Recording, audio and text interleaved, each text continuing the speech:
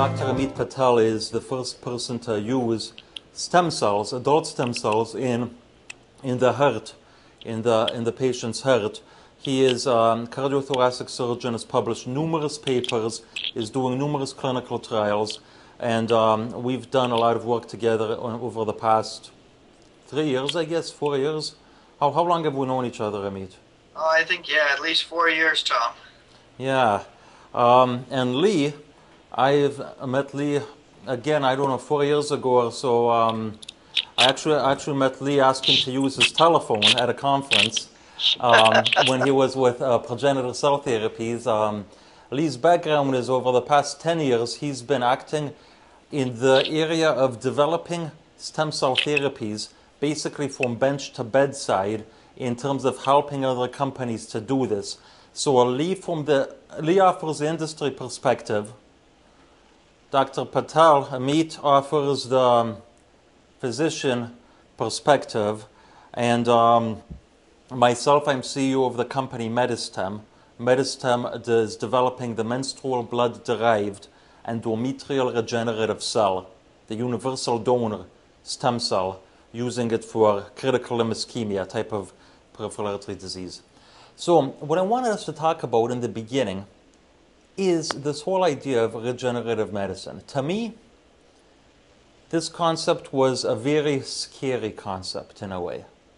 It was scary because, if you really think about it, as a society and as an industry, a lot of the work we've been doing traditionally has been focused on identifying a molecular problem and then making a small molecule inhibitor of that, of that molecular problem. Um, and that has been, at least in my mind, what's been going on for the past century, if you will, of drug development. The concept of regenerative medicine, in many ways, is a lot different and a lot more appealing to me, my background being immunology, because with regenerative medicine, you're asking the body to heal itself, to amplify its own processes. We all know the salamander. If you take a salamander and you cut off the limb, it regenerates. The big discovery, the big paradigm shift in my mind, and I love both of your opinions here, is in regenerative medicine, we started realizing some of these repair processes exist in the human That's a small, small extent. You have a heart attack, and there is some regeneration, but that they can be amplified. So that's, to me, regenerative medicine, that's what it means. Uh, Lee, give us your uh, concepts, your thoughts on what it means to you from your perspective. Well, um, so th- thanks for inviting uh, me, Tom. I, I, look forward to participating. This is this is a, I think this is a, a, really exciting medium, and I like the concept of of it just being a a, a conversation, if you will, in regenerative medicine. Um, you know, I agree. This is a, this is a, this is certainly. Uh, I'm uh, I'm just mimicking um, um, other people's sentiments when I say this is a this is an extremely exciting, uh, exciting and, and potentially paradigm shifting approach to medicine, as you say, in the sense that it's it's not just um, trying to treat conditions from a palliative perspective, but trying to remodel, uh, regenerate, repair, restore um, uh, the body's cells, tissues, or organs uh, from from injury or, or disease. And I, and I think that it, it, the the challenge with regenerative medicine, of course, is that it represents a, a host of different mo- modalities or, or approaches to trying to be curative, and of course that includes using cells as therapies, but it also includes non-cellular approaches like um, biological or non-biological scaffolds, devices, even non, even small molecules, which can perhaps be used, as you have suggested, to um, to trigger the body itself to be restorative or regenerative in a way in which we haven't used small molecules before, or other bio, um, bio, bio, biological um, mechanisms mm-hmm. Um, mm-hmm. used in a in a novel way. So so it represents a very exciting but very diverse field, all with one goal, and that is to be paradigm shifting in our curative rather than palliative approaches. How about you, Amit? What's your thoughts on, uh, in general, the concept? What does that mean to you, regenerative medicine? Well, it's a great concept of how the salamander can regrow. And our biggest issue in regenerative medicine for our patients has been that the regenerative part is probably far from reality, but the rejuvenation part of how can we get our bodies to heal themselves or getting older dysfunctional organs to function more younger or actually turning back the clock is a reality today. Regenerative medicine clinically has been really used for about the last 10 years in cardiovascular diseases. And what we see is that patients do get better, but when people ask for specific mechanistic uh, re- realities, they're still not there just because we haven't figured out what the molecular targets are. And our goal is how do we take old dysfunctional tissue and make it act younger or stronger? And that's where we see most of regenerative medicine right now. It's really a rejuvenation. So we're taking older dysfunctional tissue and making it work younger again. But we haven't truly regenerated or repopulated organs yet yet in patients. In our animal models, we can see that, but for patients, regenerative medicine is still in the future, but rejuvenation type therapies are a reality today.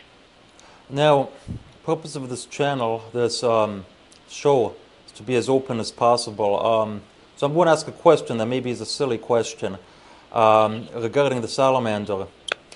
Did you guys see it was on TV a while ago? Someone chopped his finger off and then he put some extracellular matrix, and apparently the finger grew back. What was that story all about? Is that true? Did it really happen, or? Uh, Amit, do you want to comment? Uh, it actually really did happen because the group that worked on that was in a lab right beside mine. Really? So we did see this patient and saw the matrix and actually saw how this actually can help patients but it truly is uh, isolated, but yet still very promising that using a matrix like substance that actually came from the bladder of a pig actually helped a patient grow the distal part of their finger back.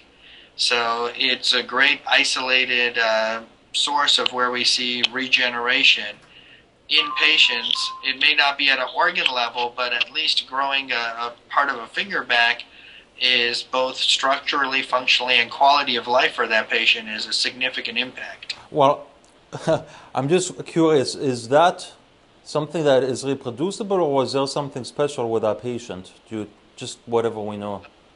There actually have been other patients who have had the exact same therapy.